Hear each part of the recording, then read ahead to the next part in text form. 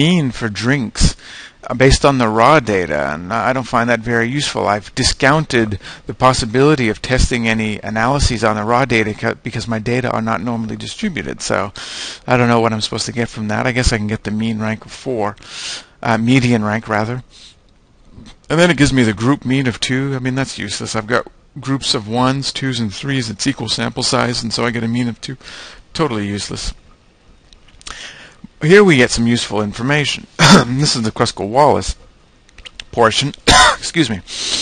We have a mean rank for drinking, consumed drinks, of 18.7 for location 1, and then 29.9 for location 2, and location 3 of 20. So at, at, least on the surface, it looks like there's probably going to be a difference between location 2 and the other two locations. And when we look at our Kruskal-Wallis, this is an omnibus statistic. It's looking for at least one difference somewhere. And we can see that the chi-square is 6.51 with a uh, p-value of 0.039. Now, because that p-value is less than 0.05, I can reject the null hypothesis of no differences between my mean ranks for drinks. So these mean rank values are not uh, the same. The differences that we're observing are beyond chance of with an alpha of 0.05. Now, something uh, that's useful about the Kruskal-Wallis in contrast to the Mann-Whitney U is that you get a chi-square value, which means we can calculate an effect size estimate which you can't do with the Mann-Whitney U. It's a major major negative of Mann-Whitney U is that you can't calculate a, an effect size estimate. The way to do that is easy. You simply take the chi-square value and then you divide that by n minus 1. Alright, so you take the chi-square value, 6.514, and you divide by n minus 1, so 44.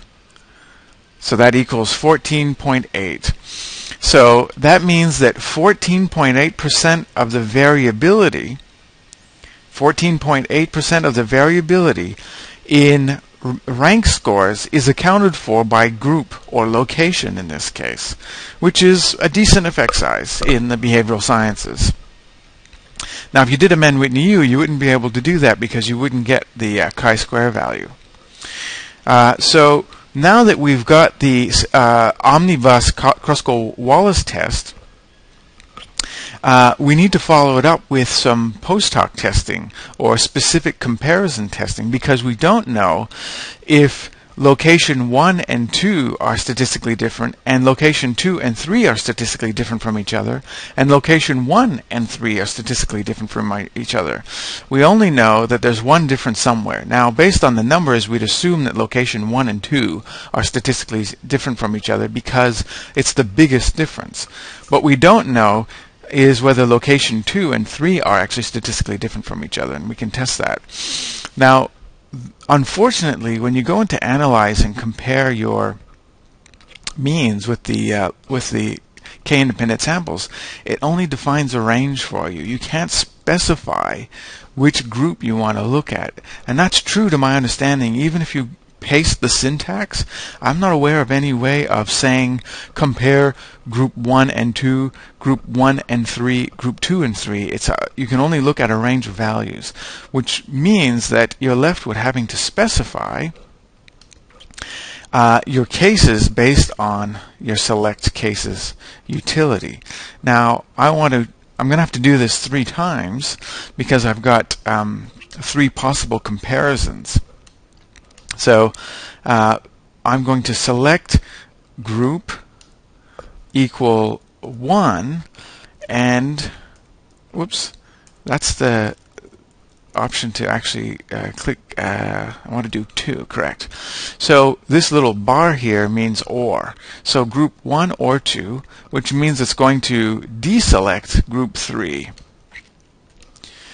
alright so here's my filter and group 3 has been deselected. So now I'm going to perform a Kruskal-Wallis again. Actually, I, I, wouldn't have actually had to have done that for this case because I could have specified um, to just define the range 1 to 2. So that was a bit of a mistake on my part.